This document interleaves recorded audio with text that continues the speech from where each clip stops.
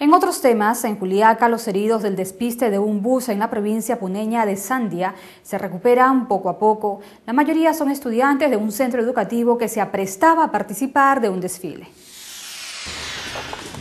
El hospital de Juliaca arribaron varias personas que resultaron heridas durante el despistaje de un bus a un abismo en la provincia de Sandia. Este accidente dejó como saldo la muerte de siete personas. Zenaida Condoria Paza, José Soncoquilla, José Panca Quispe, Gisela Choque Cuno y Diana Mamani Quirós ingresaron al nosocomio para ser internados pues sufrían diversos golpes y fracturas. La mayoría de heridos eran adolescentes.